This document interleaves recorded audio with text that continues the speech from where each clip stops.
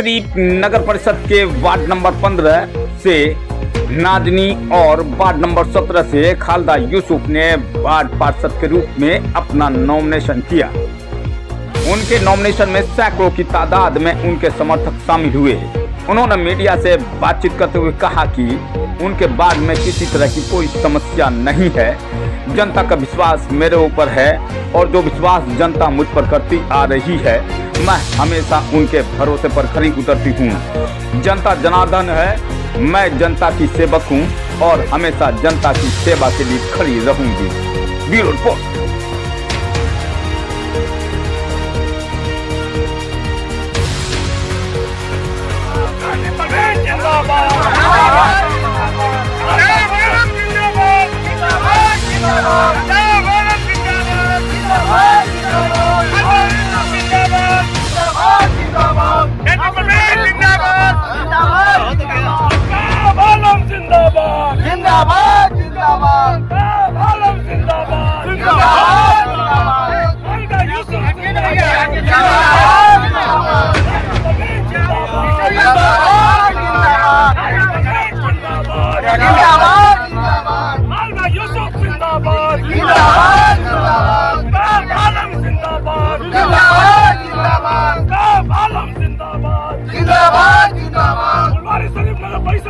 Chairman कैसा हो शरीफ नगर परिषद का चेयरमैन कैसा हो वार्ड नंबर 17 की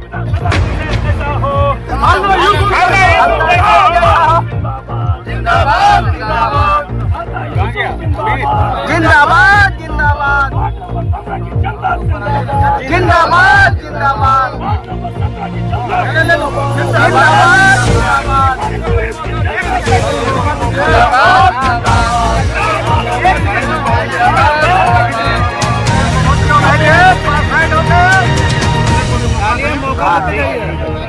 चलिए जी इधर आइए साइड में। चलो आपने अभी नॉमिनेशन किया हो गया नॉमिनेशन आपका कौन से वार्ड से किया आपने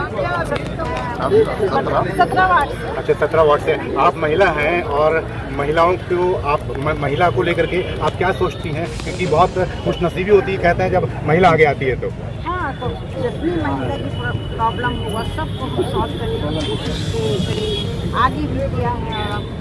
अब और ज़्यादा करेंगे, सब तरह की सहूलियत को विक- विक- किस तरीके से विकास करेंगी मैम अपने वार्ड में? जिस तरीके, जो कमी है उसको किस तरीके से? ऐसे तो सब हो गया, लेकिन जो कमी उसको पूरा करेंगे बच्चों के लिए।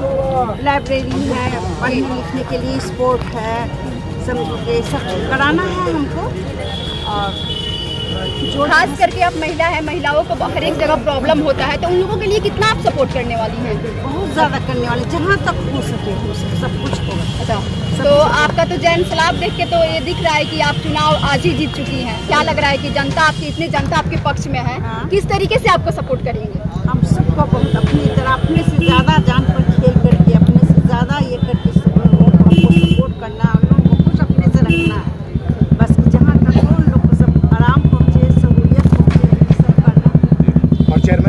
क्या कहेंगी चेयरमैन का जो अभी जो उम्मीदवार हैं चेयरमैन आफ्ताब आलम साहब जो हैं अभी उनके लिए क्या कहना चाहेंगी? और क्या ये तो ये कहना चाहते हैं कि शुरू से जनता के लिए हम लोगों को तो पता भी नहीं चलता किस वक्त आते हैं किस वक्त जाते हैं।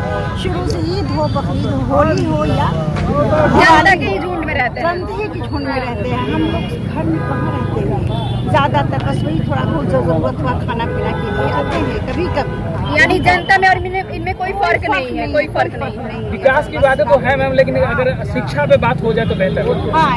शिक्षा पे बात होगा ज़रूर होगा सब होगा, सब सहूलियत शिक्षा के क्षेत्र में क्या कुछ अलग करना चाहेंगे आप? हम चाहते कि सब लाइब्रेरी बच्चों को पढ़ने के लिए जगह जगह पर होना चाहिए। और सब इंशाल्लाह आप लोग साफ़ सफ़ाई के लिए क्या करने वाले हैं? जिस तरीके से हो ही रही तरीके से पानी आता है तो लगता है बहुत सारे वार्ड परिषद में कि वो गंगा नदी बन चुका है कहीं कहीं गड्ढा आने जाने में आम लोगों की परेशानी होती है लेकिन जो कैंडिडेट होते हैं जो लोग नेता होते हैं वो लोग तो अपने गाड़ी से आते हैं जाते हैं। होता हम लोग को जहाँ तक अच्छा। कोशिश किया है जी। कि सब ठीक हो रहे और रह रहा है और आगे भी हम लोग कोशिश करेंगे जो बाकी रह गया है वो सब ठीक हो